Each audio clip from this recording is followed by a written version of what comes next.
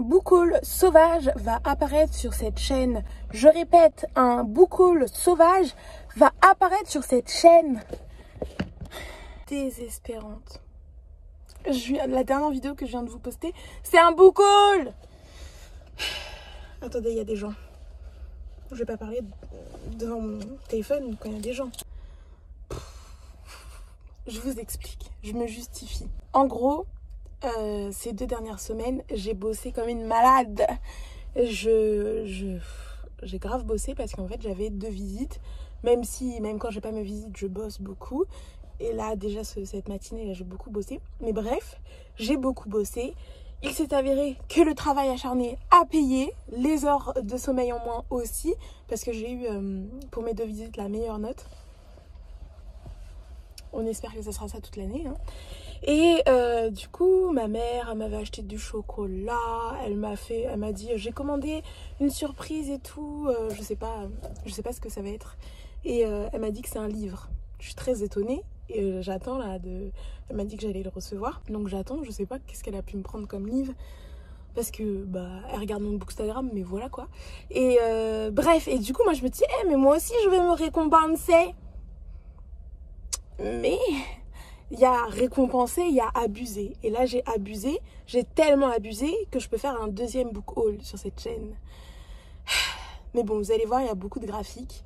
Et euh, je vais me faire une semaine de manga. Et il y en a beaucoup euh, dans ce book haul des mangas, donc euh, bon, ça va. Mais voilà, je suis très contente, je suis reconnaissante, je suis heureuse. Et je vais vous montrer tout ça. On est parti, on rentre à la maison.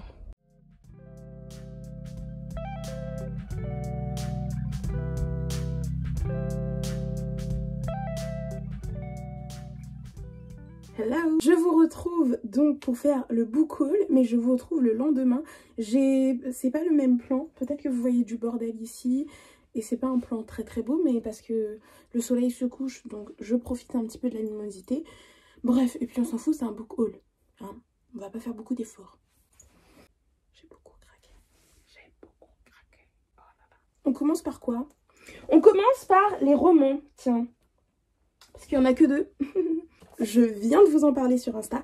Je me suis acheté une journée d'automne de Wallace Tegner. Je sais pas pourquoi ils ont mis inédit.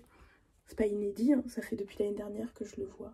C'est un petit livre à 7,60€, donc j'adore. J'avais vraiment envie de le lire pour cet automne. Et je pensais vraiment pas craquer, mais au final, il me reste quelques jours pour profiter de cet automne. Et c'est une lecture qui s'est faite très rapidement, puisque je l'ai dégommé ce matin dans mon lit. Et j'ai beaucoup aimé cette lecture. J'aime vraiment trop les couvertures de Game Meister. Je sais pas comment on se dit. J'aime trop ces couvertures, elles sont vraiment belles. Une journée d'automne, c'est...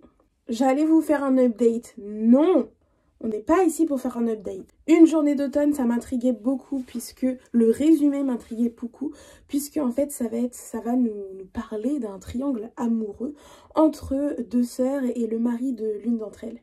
C'est glauque, c'est dégueulasse, je trouve ça très dégueulasse. En gros, on va suivre Margaret euh, euh, qui vit avec son époux Alec. De prime abord, euh, ça a l'air d'être un petit couple plutôt lambda, quoi, ça se passe bien.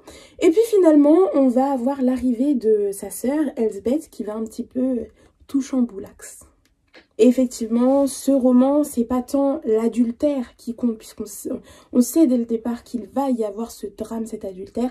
Ce qui est intéressant, c'est de voir cette montée dramatique, cette montée de, d'une ambiance plutôt pressante, plutôt oppressante. Et, euh, et, voilà, et j'avais vraiment envie de savoir la réaction de Margaret. Hein. C'est plutôt, euh, plutôt horrible. Oui, c'est vraiment horrible pour elle. Mais j'avais envie de voir où l'auteur allait nous emmener avec cette histoire et euh, j'ai beaucoup aimé. Il y a beaucoup de choses à critiquer, j'aime pas le, fait qu'on dénigre encore une fois la, femme, que le seul statut de la femme, que la, chose la plus importante pour une femme, ce soit sa beauté, et que euh, lorsqu'on a plus de 30 ans, et eh ben on une, une, vieille femme qui vieillit et qui flétrit telle une petite fleur rabougrie, ça m'énerve ces comparaisons. Après c'est un livre normalement qui a été écrit il y a quelques années, hein. mais enfin bref. Je crois, hein, je suis même pas sûre. Mais les personnages sont tout à fait détestables. Ce que je vous disais sur Instagram, c'est que j'ai beaucoup aimé cette montée en pression et puis cette petite réflexion sur le fait que les euh, non-dits, les secrets, ça peut vraiment gâcher toute une vie. Ça peut vraiment euh, aller vers un, drame familial, euh, nous emmener vers un drame familial et gâcher notre courte vie en soi. J'ai passé un bon moment et vraiment, on le bouffe en deux secondes. Deuxième roman que je me suis pris il est trop beau C'est euh, La Weekend de Scott Cunningham, Grimoire de la magie blanche. Alors, je pense que euh, pour ceux qui s'y intéressent à, la Wicca, vous connaissez évidemment Scott Cunningham. Moi, je trouve que cet ouvrage est très très beau, mais à mon avis, ça va être très fragile. Et par contre, les pages sont d'une finesse, vous pouvez pas voir, mais ça va être très long à lire. Mais j'ai l'impression d'avoir un, un, petit grimoire où j'ai plein d'informations. Je m'y connais vraiment pas au niveau de la Wicca et pourtant ça m'inspire, ça me donne envie d'en découvrir un petit peu plus. Donc autant partir euh, sur Scott Cunningham, même si je sais qu'il peut être aussi critiqué, euh, ça me ça me donne trop envie. Donc ce petit livre nous permet de découvrir la Wicca, les rituels, les outils magiques, spirituels, l'énergie de la terre. Oh, ça a l'air trop bien. Le volet pratique de la Wicca, des exercices à base de visualisation, de méditation, ainsi que des techniques magiques faciles à réaliser sont proposés. La dernière partie contient le précieux livre des ombres de l'auteur, avec des invocations et des informations essentielles sur les herbes, les huiles, les encens, les cristaux, les runes, etc. Je trouve ça super intime de livrer son livre des ombres. Donc, je, je suis impatiente. Limite, je pense que je vais commencer par la dernière partie. Oh là là. Oh my god. Je vais vous faire un insert parce que là, ça sert à rien de vous le montrer comme ça. Il est merveilleux. Euh, je l'ai vu passer sur Bookstagram. J'avais hésité à le prendre. Mais j'ai craqué. Mémoire de sorcière, encyclopédie des puissances magiques et savoir oublier. Je trouve sa couverture merveilleuse. C'est trop beau. Ça va être ma petite lecture. Ça fait un petit peu ambiance noélique, non? Hivernale.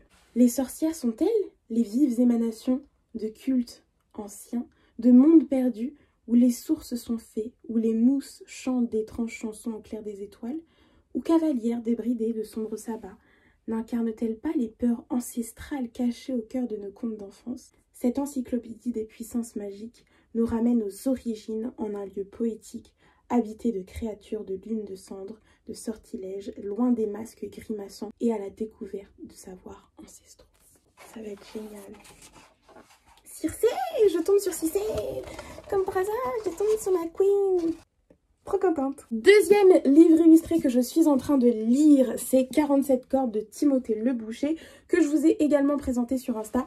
Pour l'instant, j'aime beaucoup ma lecture. On va suivre cette métamorphe qui est une femme capable de prendre l'apparence de n'importe quel être humain qu'elle croise, ou même qu'elle regarde en photo, il me semble. Et cette métamorphe va tomber éperdument amoureuse de façon obsessionnelle d'Ambroise, ce jeune garçon qui est un garçon plutôt renfermé sur lui-même. On comprend qu'il plane quelque chose, euh, qu'il a un, petit mal-être. Et donc on suit ce duo et on veut savoir si elle va arriver à ses fins. Parce qu'elle elle, fait beaucoup de choses, hein, cette euh, madame, pour... Euh, pour avoir sa proie dans ses filets. J'avais pas craqué pour les jours qui disparaissent, nos jours qui disparaissent de Timothée le Boucher, même si le speech de base m'intéresse beaucoup. J'avais pas craqué parce qu'en fait le graphisme m'attrait moins. Mais honnêtement, avec celui-ci, j'aime beaucoup plus. Après, je trouve que c'est un graphisme qui est plutôt froid. Donc, euh, ça sent bon, ça sent neuf. Donc bref, pour l'instant j'aime beaucoup, je trouve cette couverture absolument divine. Et on finit par les mangas Deux suites de séries, évidemment, j'ai craqué pour Spy Family et pour Secret of Magical Stone. Alors j'ai hésité parce que j'avais pas vraiment adoré le tome numéro 1 de Secret of Magical Stone, mais je lui laisse une deuxième chance. Et là, deux petites nouveautés. Donc, Si nous étions adultes de Takako Shimura aux éditions Akata. J'aime beaucoup cette couverture. On va suivre Ayano, enseignante à l'école primaire, qui un soir d'une longue journée de rencontre avec les parents d'élèves, elle décide de faire un détour avant de rentrer chez elle. Et dans le petit bar-restaurant qu'elle aime fréquenter, elle va rencontrer Akari. Entre elles, le courant passe très vite. Sous l'effet de l'alcool, les deux femmes finissent par s'embrasser, mais Ayano n'est pas aussi libre qu'elle le laisse paraître. Ça a l'air génial. Petite histoire d'amour. Et celui-ci aussi, on est sur de la romance, car nous allons suivre Nomiya qui vient d'intégrer l'internat d'un lycée pour garçons. Et alors qu'il ne s'était jamais vraiment intéressé à l'amour, il doit maintenant se rendre à l'évidence car Shiba, son camarade de chambre, lui fait de l'effet. C'est horrible de dire ça comme ça, mais il ne le laisse pas indifférent. Mais il se demande comment lui avouer ses sentiments alors que même lui, il ne sait pas vraiment ce qu'il ressent. La valse maladroite de ces deux adolescents, un peu bêta, peut alors commencer pour le meilleur et pour le pire. Ça a l'air cute Bon, j'aime pas trop le fait qu'ils le tiennent comme ça, mais ça a l'air quand même cute. J'ai craqué pour 4 mangas, c'est beaucoup, mais je vais commencer dès ce soir une semaine entière de manga et je vous emmène bien évidemment avec moi. Donc je pense que ça sera la prochaine vidéo de cette euh, chaîne YouTube. Et euh, je pense que je vais dégommer ma palle de manga. C'est pour ça que j'en ai pris 4 qui vont être très vite lus et ils me donnent absolument trop envie. J'espère que ça vous aura plu. Et puis euh, moi je vais m'arrêter là. Il faut que je m'arrête là au niveau des achats. Bon, après j'en ai déjà lu deux et les mangas, je vais les dégommer. Donc, ça passe. Gros bisous.